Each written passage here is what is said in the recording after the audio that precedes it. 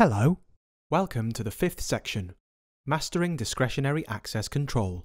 In this section, we will look at changing the ownership of files and directories, setting permissions on files and directories, using SUID and SGID settings, and finally, we will be protecting sensitive files.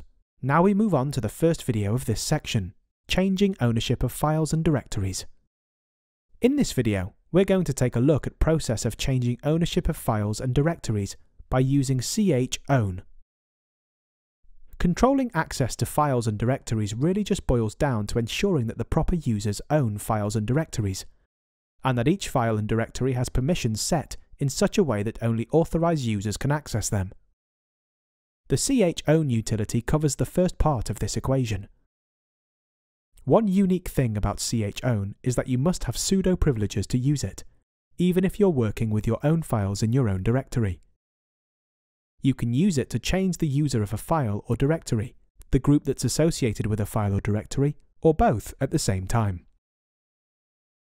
First, let's say that I have a file named permdemo.txt file, and I want to change both the user and group association to that of another user.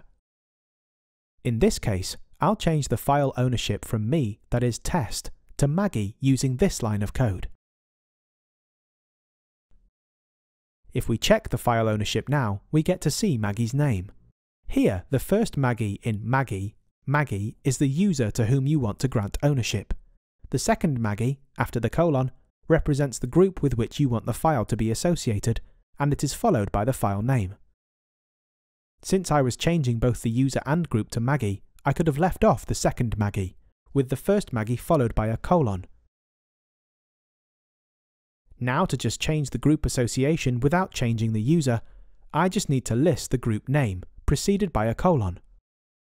So first I add the group accounting, and then list the group name preceded by a colon. If we check the file now, we get to see that the group has changed. Finally, to just change the user without changing the group, I just list the username without the trailing colon. When I check it, the user has been changed. These commands work the same way on a directory as they do on a file. But if you want to also change the ownership and or the group association of the contents of a directory, while also making the change on the directory itself, use the hyphen r option, which stands for recursive. First, let me create a directory perm demo dir. Here it already exists. Since I'm using a directory ld is being used. Next, I check the number of files present in the directory. Now, I just change the group for the perm demo dir directory to accounting. If we check it, the group for the directory has been changed to accounting. If we check the files, it remains the same. And that's all there is to chown.